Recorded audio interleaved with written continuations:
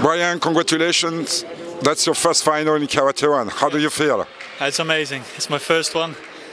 I, uh, I've been fighting for um, five, six years in seniors category, so to reach your first uh, final, it really feels amazing.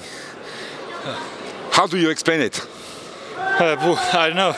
There has been an upward trend in my karate the, the past few months. I have been close. I have, I've had a few medal fights. I had a third bronze at uh, the Series A.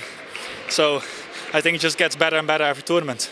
And then uh, you finally get a very good result. Well, good luck for tomorrow. Yes, thank you. Thank you. Rob, congratulations. You're in the final.